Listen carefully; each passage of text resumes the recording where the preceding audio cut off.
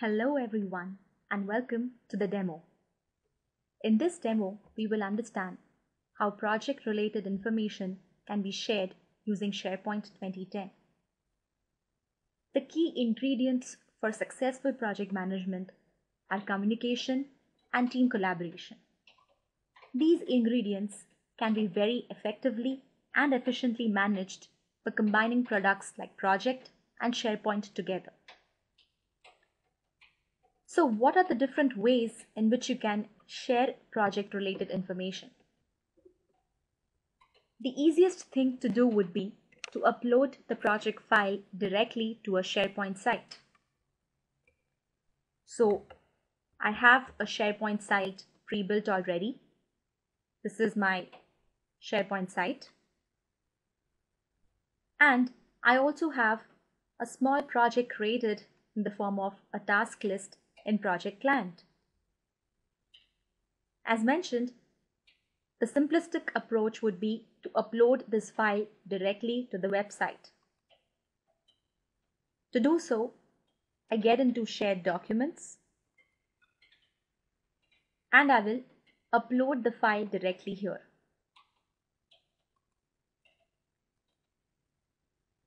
I'll navigate to the area where my file is saved.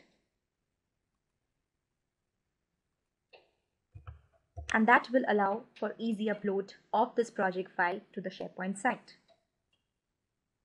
Now, even though this method is very easy and all project related information can become available to the stakeholders, the disadvantage is the destination machines would require project client to open and view information.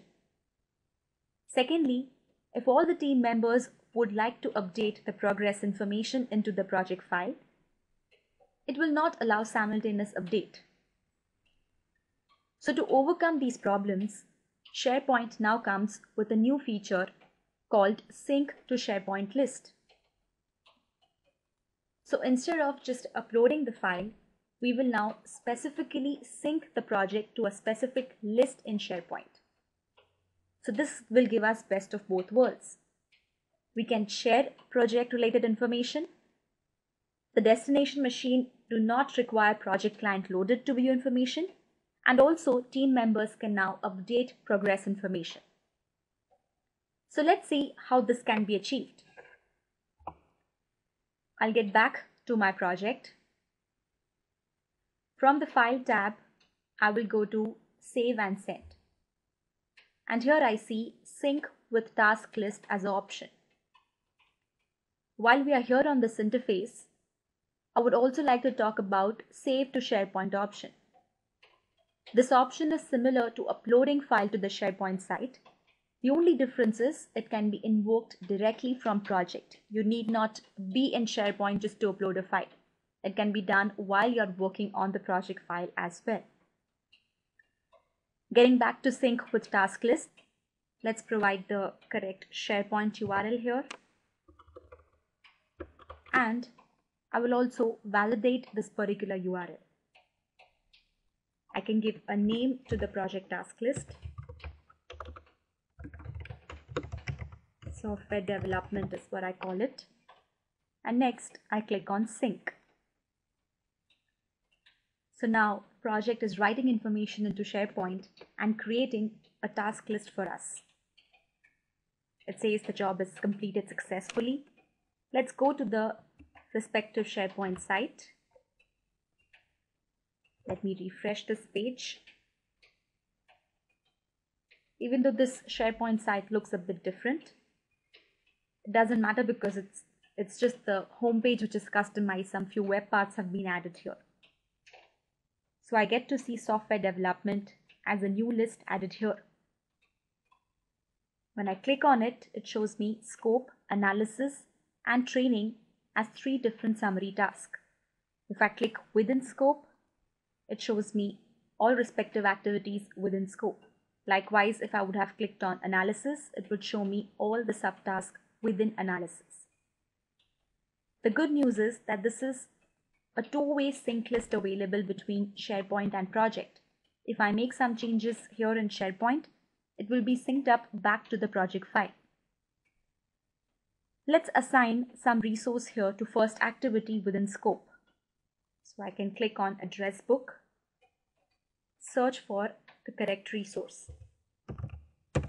Now mind you, these resources should be a part of Active Directory and they should have specific permissions on the SharePoint site. Only then they can be assigned to activities. So Erica is a resource which I have assigned to the first activity within scope. The moment Erica is assigned, she'll be notified through emails. She can also log on to the system separately and update the task. But before we do that, let's go to project and find out if there is a sync which has already happened and if the resource name reflects Erica. To refresh the project file, I go back to File tab and I will sync up the changes. And there it goes. It brings a white smile to my face to see Erica assigned to the first activity called Determine Project Scope.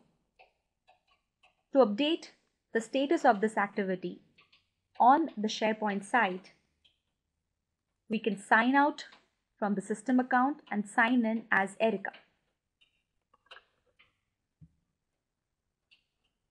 So now when I log in as Erica, I see my first activity is not yet started. As I progress further, I update this as 100% completed. And once these changes are made, let us see if these changes are refreshed back into our project file and we follow the same path of syncing up with the SharePoint list. And there it goes. It shows determine project scope is 100% completed.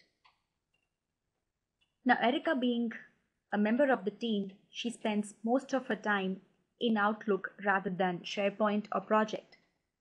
So there is a mechanism by which she can upload her task directly from Outlook rather than coming to the SharePoint site. To do so, while she's here in the list, she can just choose the option called Connect to Outlook.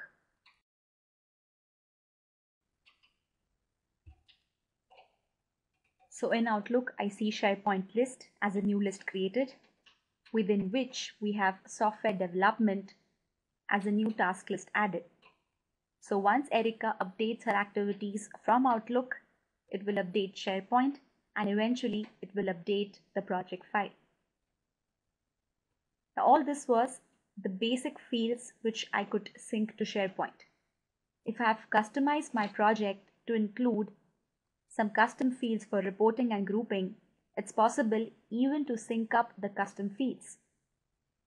To do so, while I'm in the Info tab, I will choose the Manage Fields option. Let's add a new field, the department field which we have customized and this field will map to a specific column called department in SharePoint. And once it is done, I'm going to sync the information once again. Like I can group my activities in project based on department or any other thing. I can also group my activities in SharePoint using the custom field called department. To do so, I get back to the list and this time I will create a new standard group.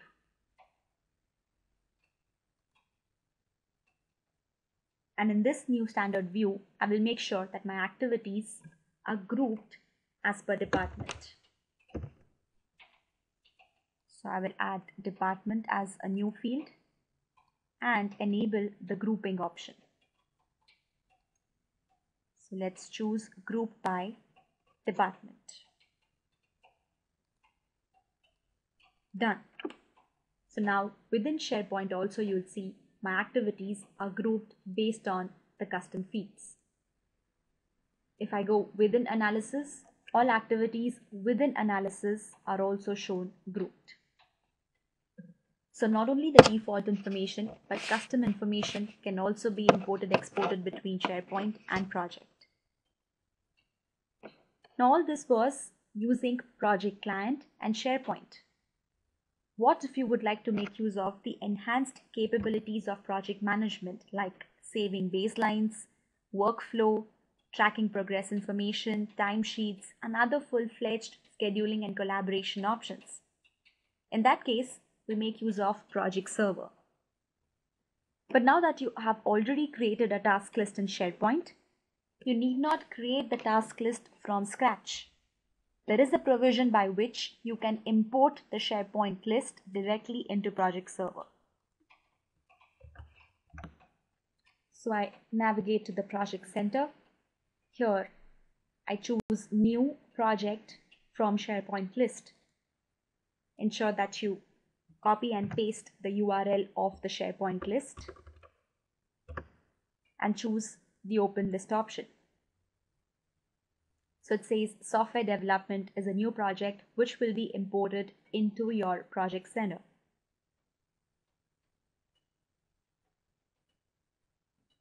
Says the name already exists, so let's give this a little different name. And once imported in Project Center, you can make use of all enhanced scheduling capabilities of Project Server. So we saw three different levels of how you can manage projects. We began from project client, moved on to SharePoint, and then to project server. So from basic to highly advanced capabilities of managing projects using the enterprise project management components. So that's what was in demo to be shown. Hope you enjoyed the demo and you found it truly useful.